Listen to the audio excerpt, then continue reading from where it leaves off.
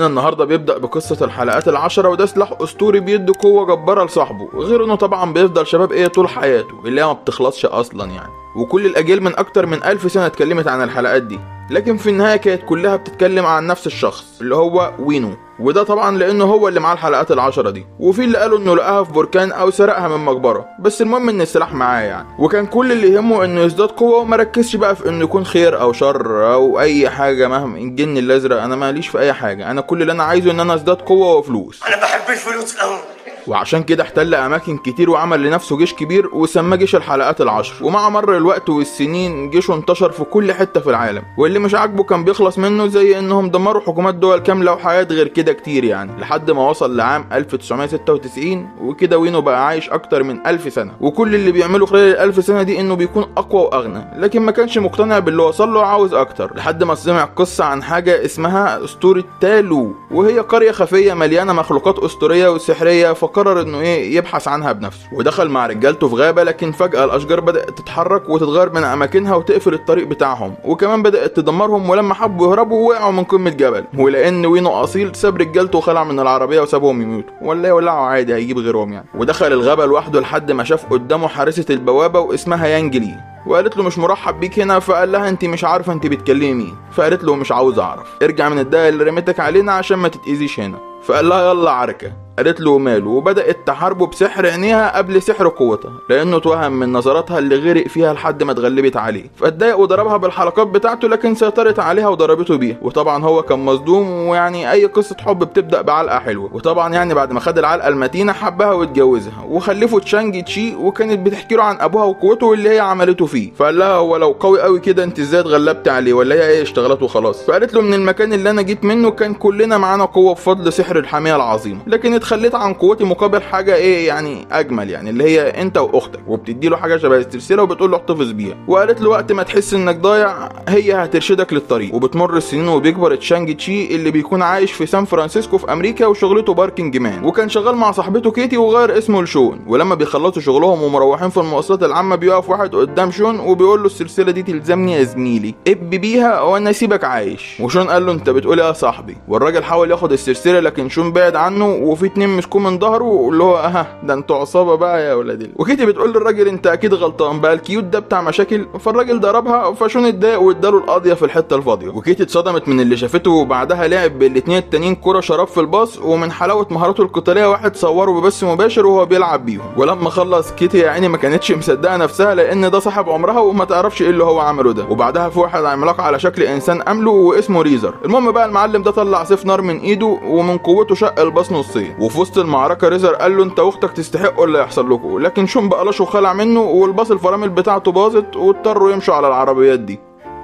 آه مشيوا على العربيات دي. أيوه والله مشيوا عليها. تخيل كده العربية دي بتاعتك. ولما وقفوا شون عرف إن الراجل ده خد منه السلسلة في الزحمة فراح بيته بسرعة وجهز شنطته وصاحبته كده بتقول له أنت رايح فين؟ فقال لها رايح مكاو عشان يلحق أخته قبل ما يوصلوا لها. فقالت له احيه أنت كمان عندك أخت؟ قال لها هفهمك كل حاجة لما أرجع. لكن قالت له مش هتمشي غير لما أفهم. وقال لها اللي بعت الناس دي أبويا وأنا مضطر أمشي دلوقتي فقالت له ماله؟ ممكن تشرح لي وإحنا في الطيارة. وفعلا بدأ يحكي لها إنه بعد ما يانجلي أمه ماتت أبوه بدأ يدربه الفنون القتالية بدون رحمة لحد ما اتعلم كل الفنون القتالية. وكمان علمه أي طريقة اتوجدت إنها ممكن تساعده إنه يقتل بشري غير تدريبات تعذيب عشان تعلمه الصلابة وكمان اتدرب على استخدام كل الأسلحة اللي اتوجدت. وفي التدريبات بتاعته كان بيتدرب على عشرات الأشخاص وبيضربهم عادي كأنه بيتسلى. لحد ما وصل سن ال 14 سنة وأبوه بعته لأول مهمة اغتيال وقال لها لما رحت أنفذها ما رضيتش وهربت منه وبعدها عرفت إني مش هينفع أرجع له تاني. وبعدها قال لها لعلمك أنا اسمي مش شون أنا اسمي تشانج تشي بس إحنا هنكمل باسم شون عشان أنا إيه بصراحة تشانج تشي ده يعني مش مقتنع بيه. وكملوا طريقهم لحد ما وصل لأخته اللي كانت مؤسسه مكان لقتال الشوارع وأول ما دخل مدير أعمالها اللي اسمه جون فرح بيه وقال له فتى الباص. فشون استغرب وقال له إيه يا عم اللي أنت بتقوله ده؟ وجون قال له شوف الفيديو بتاعك على اليوتيوب جايب مليونين مشاهدة في 3 أيام. عقبالنا يا رب. وهو بيتمشى في حلبات المصارعة أنا شفت وونج وهو بيحارب الوحش العملاق ده. لكن بصراحة يعني أنا شفت الوحش يعني عمل من وونج بطاطس. لكن وونج عمل فيه حركة كده جامدة بصراحة جامدة فشخ يعني. مش عارف أقول لكم إيه بصراحة. وكسبوا بيها وبعدها دخلوا شون حلبة مصارعة وأخته شو شايلينج وهنسميها شو بس يعني إيه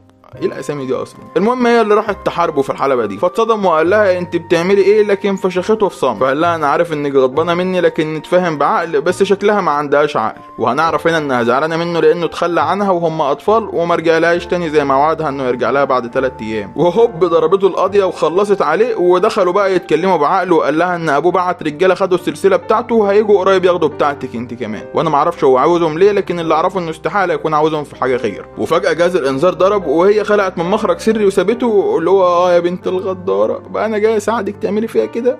وريزر هو اللي هجم عليهم ومعاه رجالة كتير وشون حاول يهرب مع كيتي عن طريق مواسير بره المبنى لكن ظهر فجأة رجالة تضربهم فقال لها تهرب وهو هيعطلهم وبعد حبه ضرب ومرمطة وبهدلة في واحد نزل إيه قدام كيتي وكان هيضربها لكن رفعت إيدها وقعدت تغني و...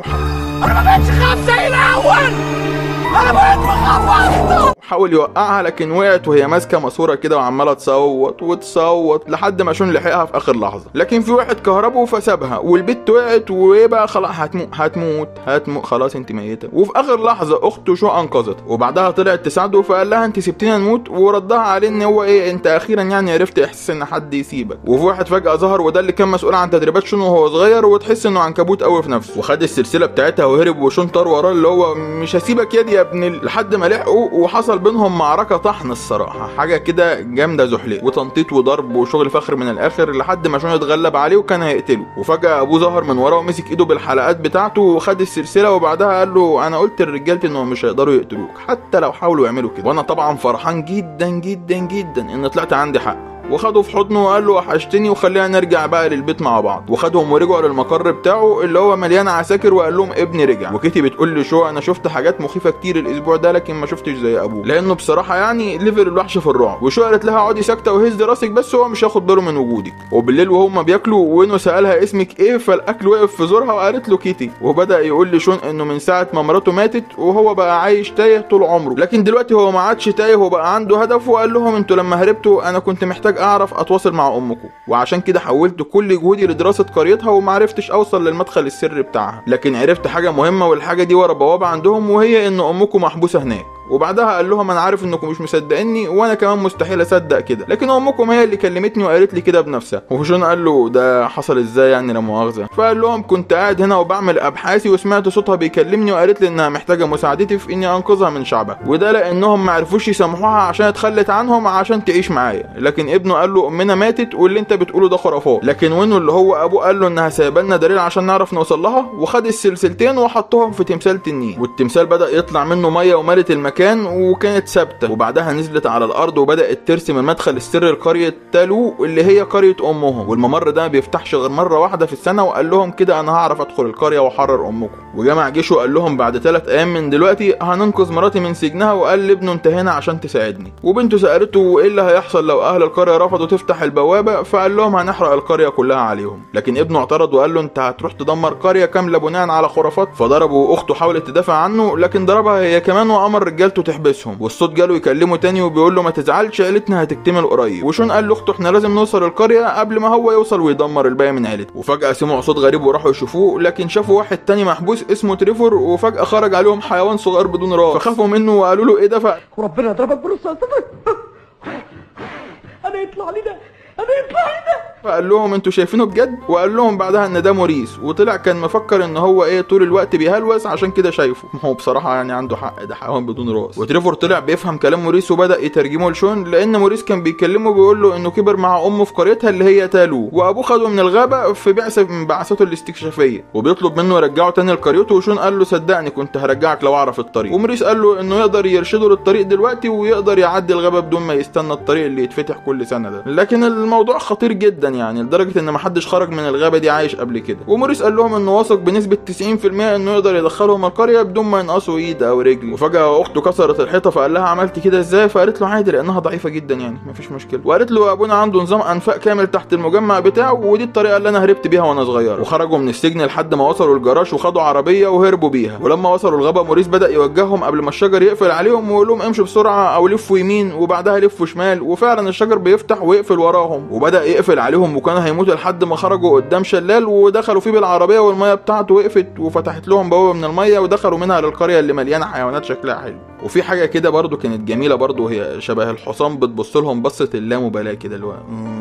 لحد ما وصلوا لسكان القرية اللي بيربوا أسود بضعف الأسود اللي عندنا خمس مرات على إنها حيوانات أليفة. وأهل القرية قابلوهم بطريقة مش مرحبين بيهم خالص يعني. لكن خالتهم نان قابلتهم بأحسن ضيافة وشون قال لها لازم نجهز نفسنا عشان أبويا جاي ورايا. وخالتهم قالت لهم شعبنا عايش هنا أكتر من 4000 سنة وكل ده بنستعد لحاجة نتمنى إنها ما تحصلش. إحنا هنا بنحرس بوابة الظلام عشان ما تتفتحش تاني. وده لأنها لو اتفتحت الشر اللي وراها هيدمر عالمنا وعالمكم. فقال لها الله ينور عليكي أنا بقى أبويا جاي عشان يفتح البوابة دي. لأنه عنده اعتقاد إنكم حابسين أمنا هنا لأنها هي اللي كلمته وقالت له كده. فقالت لهم مش أبوكوا أول واحد يحاول يفتح البوابة. وفي غيره كتير وكلهم أغواهم صوت من الجانب اللي ورا البوابة. وجيش الظلام عارف إن الحلقات العشر اللي معاه قادرة إنها تفتح البوابة. عشان كده كلموه. وأهل القرية بدأوا يجهزوا نفسهم بالأسلحة وكلهم بدأوا يتدربوا وكان كل واحد بيتدرب على قدراته الخاصة وشون قال لخالته أمي الوحيدة اللي كانت قادرة تتغلب عليه. علميني عملتها إزاي. وبدأت تعلمه لحد ما عرف يتعلم مهارات أمه وشون بالليل بيراجع ذكرياته وافتكر أمه وهي كانت بتدربه وبعدها افتكر اليوم اللي أمه ماتت فيه. ماتت عن طريق عصابة كانوا بينتقموا من جوزها فقالت لهم يا عيالي مالهمش علاقة بانتقامكم وفعلا العصابة سابتهم. وقالت لهم يمشوا لكن ابنها قال لها أنت ما عندكيش قوة دلوقتي خارقة ولا حاجة مش هتعرفي تضربيهم. فقالت له ما تخافش ومشي. وبدأت تحاربهم وهو بيتفرج عليها لكن كانوا أكتر منها وقتلوها. وجوزها رجع من بره وشافها ودي كانت صدمة عمره. ومسك الحلقات بتاعته وقال لو ما كنتش قلعتها محدش كان هيجرؤ يقرب من هنا. ولبسهم بعد ما كان خد قرار إنه مش هيلبسهم تاني. وخد ابنه وراح لمقر العصابة وابنه قال له أيوه هم دول اللي قتلوه.